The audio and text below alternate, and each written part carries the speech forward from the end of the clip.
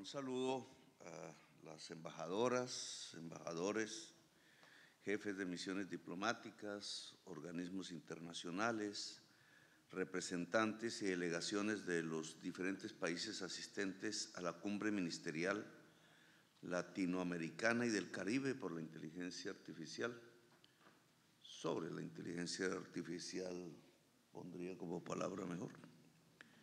Directora, ministras y funcionarios del Gobierno Nacional, congresistas de la República, presidentes y representantes del sector gremial y empresarial, medios de comunicación nacionales e internacionales aquí presentes y en general a todas y todos los que nos acompañan. Este es un tema que en la mayoría de nuestros países suena esotérico,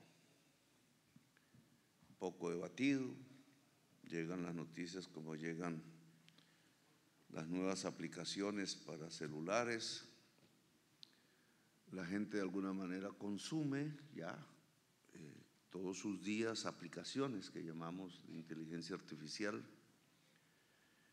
pero la discusión filosófica, ética, política sobre esta aparición que es una evolución de las TICs y su impacto en las sociedades, en el individuo, en las relaciones mundiales, en la geopolítica, en lo que puede estar por venir, pues no aparece mucho.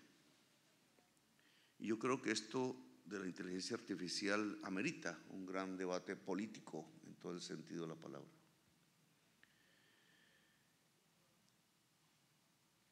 Este, este tema tiene que ver indudablemente con el capitalismo, y voy a ponerlo en esos términos. Es un fruto del capitalismo. No se conocía ni siquiera sus antecedentes en otro tipo de formas de producir o de consumir. Es eh, el desarrollo tecnológico último del capital. Y quiero ponerlo en estos términos porque lo quiero ahondar desde el punto de vista político y económico. Casi todos ustedes ya en sus gobiernos, en lo que ha sido la gobernanza de América Latina en los últimos tiempos, en su diversa, eh, en su propia diversidad étnica, ideológica, etcétera, han estado enmarcados como nosotros aquí en Colombia dentro de un paradigma de teoría económica, de pensamiento económico que voy a llamar dominante que no acoge estos términos que tienen que ver con la historicidad de la economía, como capital, como capitalismo, ese era un tema de antes.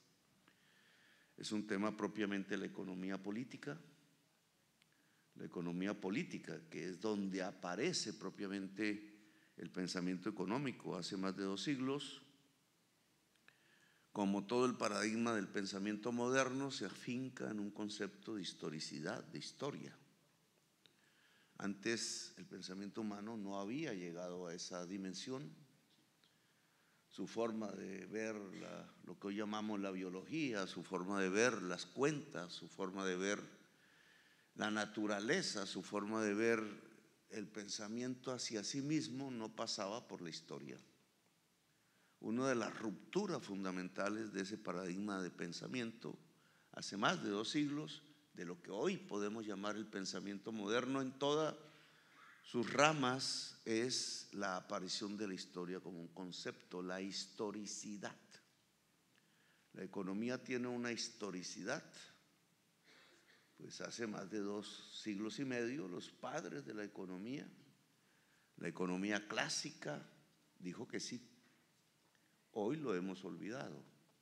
Hoy pensamos que la economía es una teoría científica sin principio y sin final, que estudia un mercado que no tiene ni principio ni final, unas leyes del mercado que creemos científicas para todo momento de la humanidad en la historia y para todo momento de la humanidad en la geografía. Una ahistoricidad ese pensamiento dominante actual ahistórico ya tiene problemas. Y problemas paradigmáticos, como ninguna otra teoría o pensamiento económico o ciencia, o pensamiento humano o ciencia. Y básicamente por esto mismo. Básicamente porque no puede comprender el presente. Y ahí hay un problema de gobernabilidad fundamental, porque este pensamiento económico del mercado y del libre mercado que creemos científico no puede interpretar la realidad de nuestros gobiernos, de nuestras sociedades y de nuestro mundo. Y lo hace en dos materias fundamentales. Su incapacidad está en los dos hechos que Stephen Hawking, el físico, dijo que podían acabar en el corto plazo con la especie humana. La crisis climática y la inteligencia artificial. Y bonito y bien que sería entre nosotros los latinoamericanos preguntarnos por qué decía Stephen Hawking eso. No se, trata, no se trata de cualquier opinión, no nos aparece propiamente en los noticieros de televisión, pero allí estaba su voz terminal diciéndonoslo. El mejor físico contemporáneo, o por lo menos de la generación que nos tocó vivir a nosotros. ¿De dónde sacaba ese, él ese planteamiento? ¿Y qué tendría que ver la economía política clásica inicial con ese planteamiento? Y es un poco lo que a mí me gustaría ahondar unos instantes, porque si la crisis climática tiene la capacidad de la extinción de la especie humana, ¿qué la produce? Y si la inteligencia artificial tiene la capacidad de la extinción de la especie humana, ¿qué la produce? ¿Y cómo se articulan ambas? Y entonces aquí hay un bonito espacio de debate. Ambas las produce el capitalismo. No el mercado, ojo, que es una manera de eludir el tema. El capital. Una relación específica e histórica entre los seres humanos. Capital no es una cosa, es una relación entre personas. Una relación de poder, obviamente.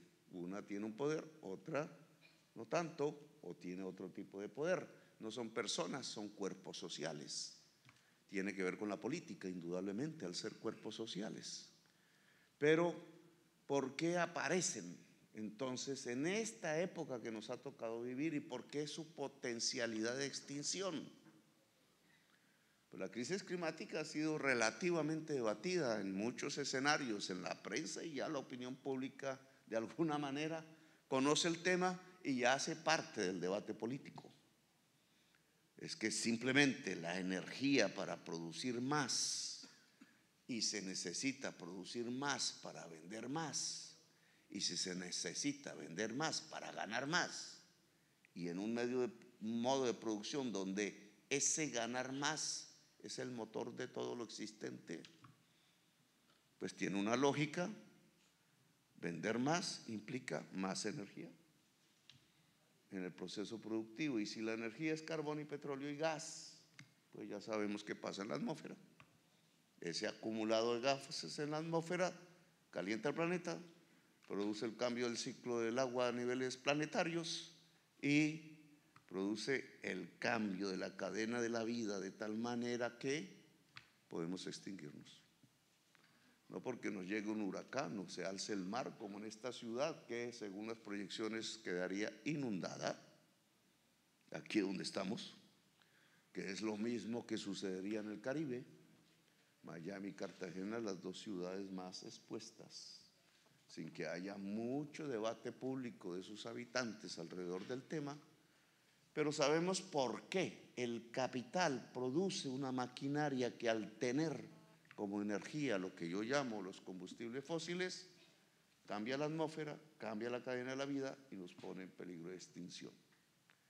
Luego se produce un gran debate político mundial, una tensión mundial racional o instintivamente conocida, que es una contradicción entre el capital y la vida.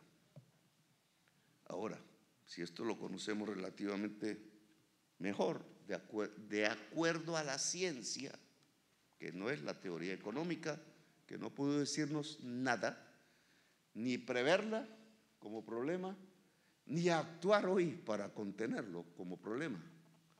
El paradigma económico dominante en nuestros gobiernos, en nuestra política pública local, nacional y mundial, en los mecanismos multilaterales, en las Naciones Unidas, no tiene remedio para la crisis climática, porque ni la entendió, ni más ni menos su planteamiento básico teórico era que si dejábamos libre el mercado, dado que sus actores son racionales, podíamos llegar a la maximización del bienestar. Eso tiene una teoría y una matemática que se aprende en los primeros semestres de economía, se le llama el teorema del bienestar. Si se hacen funciones lineales y se derivan y se iguala a cero, se encuentran maximizaciones y podemos encontrar matemáticamente que efectivamente, eso le llamaron el óptimo paretiano, si se deja funcionar libremente el mercado, se maximiza el bienestar individual, ergo, abusivamente dijeron, la maximización del bienestar de la sociedad, ergo, más abusivamente dijeron, la maximización del bienestar de la humanidad. Por tanto, los aparatos políticos de la humanidad, sus estados, se metieron a la construcción del libre mercado mundial. Resultado, pues no tenemos la maximización del bienestar de la humanidad. Lo que tenemos hoy es que están tirando bombas en Gaza, matando niños. Lo que tenemos hoy es que una enfermedad nos arrasó por todas las esquinas del planeta y sobre todo impactó porque no estábamos preparados en América Latina, hace unos años no más, pocos. Sobre todo porque estamos a punto de una guerra mundial. Nos impacta porque aumentó el hambre y no disminuyó. Nos impacta porque aumentó la desigualdad humana y no disminuyó la maximización del bienestar donde estaba. Pues ahora nos impacta porque nos están diciendo los científicos que en un siglo podríamos extinguirnos. Entonces, ¿cómo puede la ciencia encontrarse con una teoría económica que dijo lo contrario de lo que está pasando? Eso es lo que se llama una crisis paradigmática porque quienes acostumbrados a las frases de cajón de ese pensamiento económico los siguen repitiendo una y otra vez y tienen el poder de los gobiernos, pues no pueden explicar ni por qué la crisis climática ni cómo solucionarla. Yo lo veo aquí todos los días en, esta ciudad y en el país mío. ¿Cómo se le ocurre detener la exploración petrolera? Me dicen. Y yo a veces contesto, ¿y acaso es que no nos estamos viendo que nos lleva esa a la extinción de la especie humana y en décadas apenas? ¿Cómo se plantea ese debate político? Ahora bien, ¿cómo lo articulamos al de la inteligencia artificial, que es para lo cual me han invitado? Pues tiene de común no solamente que Stephen Hawking lo puso como primero sobre la crisis climática, entre los dos factores de posible extinción de la humanidad, sino que tiene otras coincidencias. Es que también tiene que ver con la ley lógica del capital. Producir más para vender más, para ganar más en toda la escala del planeta, porque la forma económica del sistema actual en el que vivimos tiene que como motor, como Deus ex machina, la ganancia. Alguien podría decir la codicia. Punto. Y entonces, ese producir más, para vender más, para ganar más, pero ese producir más implica no que se amplíe la jornada de trabajo, porque físicamente pues tiene un límite temporal, aunque aquí en mi país hay expertos económicos que siguen diciendo que hay que ampliar más la jornada del trabajo, que por lo menos no hay que disminuirla. Siguen en el siglo XIX.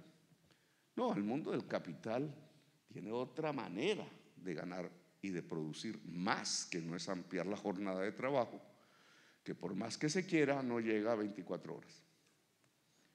Y se morirían todos los trabajadores y trabajadoras del mundo. Se llama productividad. ¿Qué significa?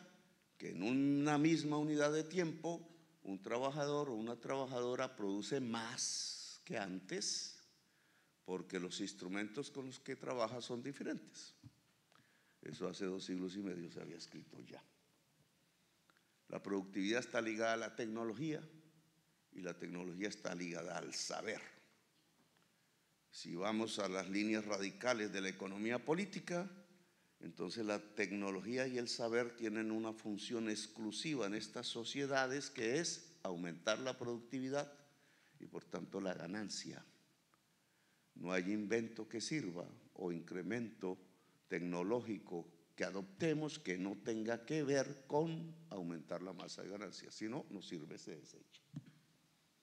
Puede que sea una genialidad, pero se desecha, no tiene que ver con el mercado. La inteligencia artificial tiene que ver con el mercado. Porque hasta ahora es el mecanismo de saber, porque son algoritmos, es matemáticas, es un pensamiento lógico que nos produce la posibilidad que la máquina produzca a través de los trabajadores muchísimo más que antes. Claro, la máquina ya se venía transformando, ya era básicamente más que materia y acero, información y matemáticas.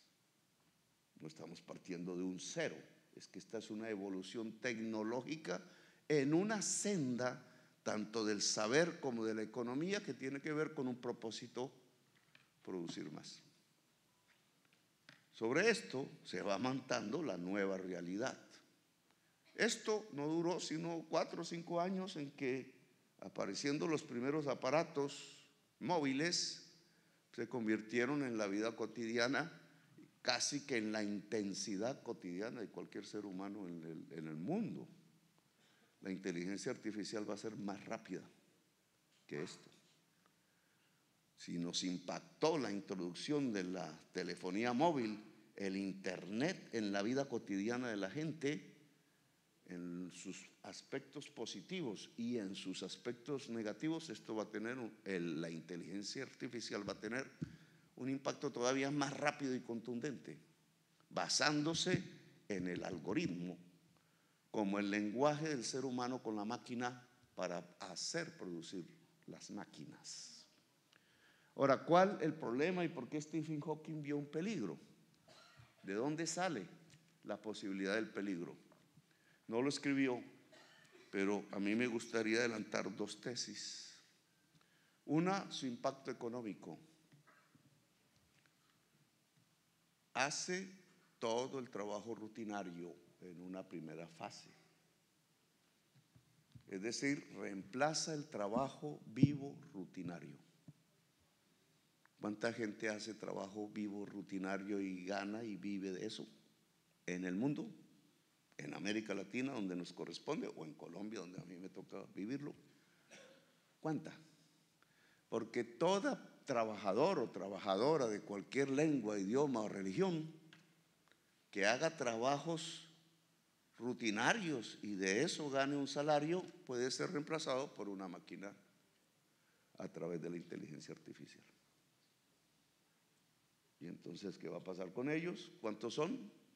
¿Qué impacto en la sociedad va a tener un volumen en aumento paulatinamente, diaria y cotidianamente de trabajadores y trabajadores que salen a la calle? ¿Qué pasará con ellos?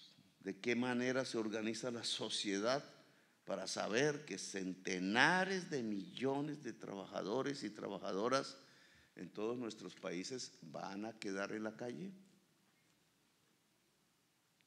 Desde el punto de vista del capital aislado, pues no importa, porque va a producir más y por tanto va a ganar más en su lógica. Pero si esto se expande en tres años, cuatro, ya no hablemos del presente, sino proyectémoslo un poco con alguna velocidad de pensamiento hacia adelante, ¿quién compra? La máquina. Estamos en la contradicción central del capital. La máquina no compra.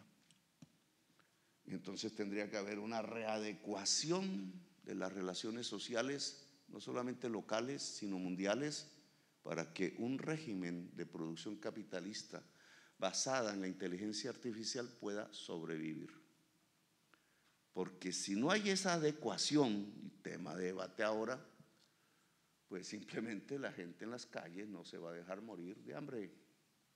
La tensión política va a aumentar al interior de cada sociedad como nunca antes lo hemos visto. La conflictividad social va a tener un pálido recuerdo de los finales del siglo XIX y de los principios del siglo XX, que el capitalismo bajo la idea socialdemócrata solventó después de la Segunda Guerra Mundial. Después de la Segunda Guerra Mundial. Y entonces, ¿cómo va a ser esta nueva conflictividad social a escala global y más intensa que la que se vivió a principios del siglo XX? Creemos todavía que con las teorías de Balras sobre la libertad del mercado y la maximización del beneficio vamos a defendernos. Si yo creo en esas teorías, y aquí hay muchos que creen, no, no, no creo lo contrario, lo que tenemos es una conflictividad social que va a devorar el cuerpo humano social en todo el planeta. Esa tendencia hacia la derechización, hacia la fascistización, tiene que ver con una reacción natural de cuerpos sociales que simplemente se están alistando para maximización de las ganancias, sí, pero no para la maximización del bienestar. Que se sabe va a entrar en una lógica es de minimización porque si aquí se articula la crisis climática ascendente con la crisis social de la salida masiva del trabajo vivo a partir de la inteligencia artificial, ustedes tienen el argamenón. ¿Cómo se domina el argamenón políticamente? Con fusiles y cárceles. Aquí no hay democracia que valga. El proyecto democrático puede morir. Y lo que puede empezar es la barbarie. Y si alguna duda de estas palabras apocalípticas, pues solo hay que abrir un periódico de hoy. No un periódico de ayer, como dice la canción, sino de hoy.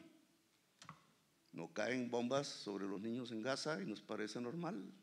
Y ocultamos el hecho en muchos países. ¿Qué está pasando en este momento en Inglaterra? Para no hablar de un país como los nuestros, del tercer mundo, Palestina. ¿Qué está sucediendo con el proyecto democrático en Europa? ¿Y cuáles son los nuevos niveles de barbarie a los que estamos llegando? No eran películas viejas que veíamos como grupos de nazis salían a atacar judíos en las ciudades alemanas. Y nosotros dijimos que es el pasado. ¿Acaso no lo estamos viendo en la Inglaterra moderna? Exactamente igual, solo que ya no son judíos, sino musulmanes, o población negra, o población nuestra que se va para allá. Los latinos aquí no somos ganadores, como no lo hubiéramos sido en 1933, ni 35, ni 40, ni 45. Podemos profundizar un poco más en la inteligencia artificial y si va a sacar centenares de millones de trabajadores en medio de otra crisis que es la climática, pero que está relacionada con ella porque el motor es el mismo, producir más para ganar más. Es el mismo motor, una y otra. Este nivel de sofisticación del algoritmo en el pensamiento lógico, en la realidad, no construye otra realidad, que era lo que Stephen Hawking decía. Porque vuelvo al caso de, Inglaterra. sociedad educada, mejor educada que la mayoría de nuestras sociedades latinoamericanas, sus niveles de escolaridad son mayores, etc. un ejemplo desde el punto de vista de los ejemplos clásicos de la educación, pues están por encima en número de años promedio de estudio académico. Pero un simple fake news con apariencia de realidad los está haciendo matar entre sí. Que un señor, que unas niñas que murieron en virtud de que un británico las mató, patologías, etcétera, mentales, un asesino. Entonces dijeron que era un musulmán y listo. Tanta propaganda ha echado la prensa inglesa en contra de los musulmanes para evitar el por qué su gobierno es aliado de un genocidio en Palestina, tanta barbacha echó, nosotros decimos barbacha, tanta mentira, que ya venía desde la guerra de Irak, que un simple fake news de algún anónimo organizado en grupos neonazis dijo que era culpa de los musulmanes y se prendió Inglaterra en estos dos o tres días. Y algo así no nos podría llevar a guerras mundiales. Y algo así no podría incluso más sofisticadamente, dado que un fake news aún no podemos decir que es inteligencia artificial, sino un simple manejo astuto del Twitter, que quien lo maneja. Le dijeron que iba a haber una guerra civil en Inglaterra, desde el Twitter, pero inteligencia artificial va más allá del Twitter en la práctica en estos campos puede simular la realidad sin que nadie distinga la frontera entre lo uno y lo otro. En el Twitter alguien educado puede descubrir que le están diciendo una mentira. Todos hemos caído en mentiras. Yo también. Pero con algo de paciencia uno distingue la frontera de la verdad y de la mentira. Pero la inteligencia artificial no. Está mucho más allá es muchísimo más sofisticada como para confundir el audio, lo visual, el contexto y generar una nueva droga en el mundo, más poderosa que el fentanilo. Las de Latinoamérica son drogas del pasado, que incluso van a perder su mercado. Está la nueva droga, la de vivir en una realidad virtual permanentemente sin saber, pareciera película de ciencia ficción, porque ya las hay, cómo se separa la realidad de la mentira. Cómo la realidad virtual puedo yo saber que es virtual y cómo la realidad real puedo saber que es real. En los próximos dos, tres, cuatro, cinco años o diez. He ahí porque Stephen Hawking decía, cuando aparece el ser humano que ya no puede diferenciar fantasía de realidad, que siempre lo había hecho, de ahí apareció el arte, ya no hay humanidad. Y entonces tenemos dos mundos surgidos del capital, la crisis climática, la crisis de la realidad, la crisis de la verdad, por ponerlo más filosóficamente, articulados bajo el mismo motor. Está la parte que me gustaría debatiéramos, porque entonces, ¿qué va a hacer América Latina? El tema no es cómo podemos hacer un microprocesador más rápido que los chinos. Hace dos días los chinos dijeron que habían hecho uno más rápido que Estados Unidos. El que haga el microprocesador más rápido tiene el poder del mundo. Y por eso esta discusión se está volviendo una discusión militar, geopolítica, militar.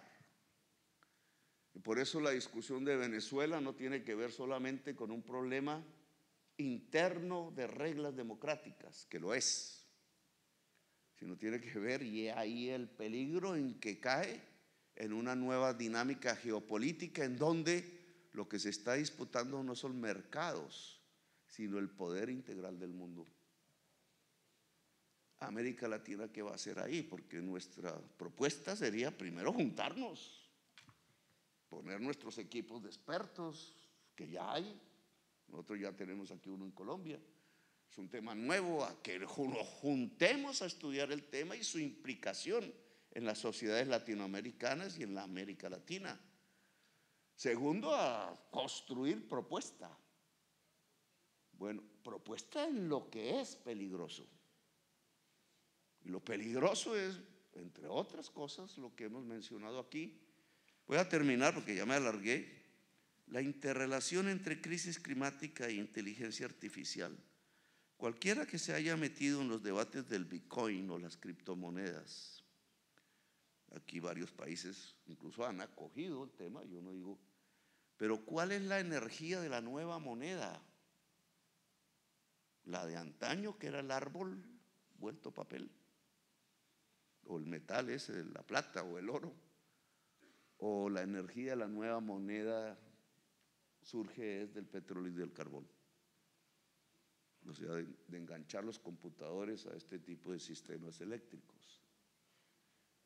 Si el Bitcoin ya podría producir un disparo de la demanda de petróleo y carbón en el mundo, con la consecuencia que ya sabemos sobre la crisis climática, ¿cuál va a ser la incidencia de la inteligencia artificial en términos energéticos?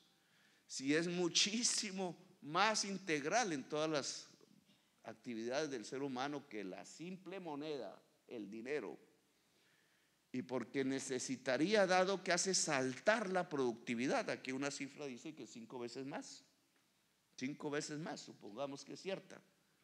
Pues si hay una productividad cinco veces más alta, hay que multiplicar por varias veces la cantidad de energía que consumimos como especie humana en todo el planeta. Y si eso es carbón y petróleo, entonces, ¿qué pasa con el análisis de la crisis climática? Ya no serán un siglo, esto se desata en cuestión de años. Esa es la interrelación. Luego, uno de los primeros escenarios de discusión es cómo la nueva tecnología afincada en la informática, en la matemática, indudablemente, en el lenguaje entre el ser humano y la máquina, puede pasar energías limpias por lo menos para que no a través de la crisis climática desaparezcamos como especie y no desaparezca la vida. Luego se vuelve imperioso ligar inteligencia artificial a energías limpias. Ese es el debate que tenemos aquí en el Caribe colombiano. Porque aquí en el Caribe colombiano tenemos una de las más altas potencialidades de energía limpia. E indudablemente si ustedes miran el mapa, las redes de fibra óptica de los mares, como antaño eran los barcos con el canal de Panamá, pues tendrían esto como un corazón, un corazón para vivir o un corazón para morir. Pues lo primero que es, si queremos que sea para vivir, es que esos corazones tienen que tener energías limpias, allí donde se ubiquen a través de las grandes redes de fibra óptica, si es que nos inventan otro tipo de red más adelante. ¿Y cuál es la política unificada e integral de América Latina sobre la generación de energías limpias y su interconexión a escala suramericana o a escala latinoamericana o a escala americana? Porque nos toca ayudar a los a Estados Unidos a cambiar su matriz energética. Porque si no morimos.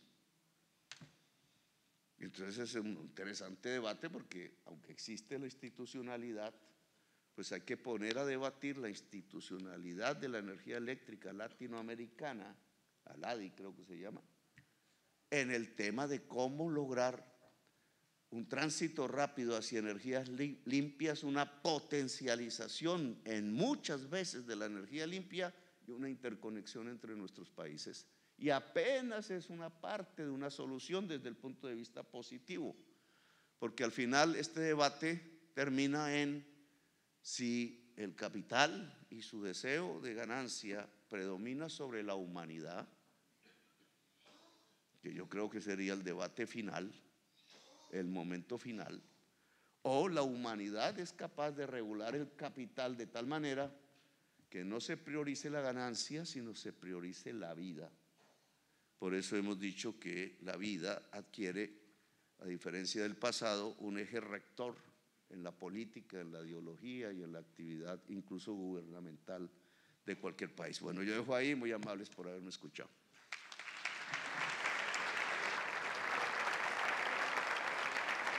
Agradecemos al señor presidente de la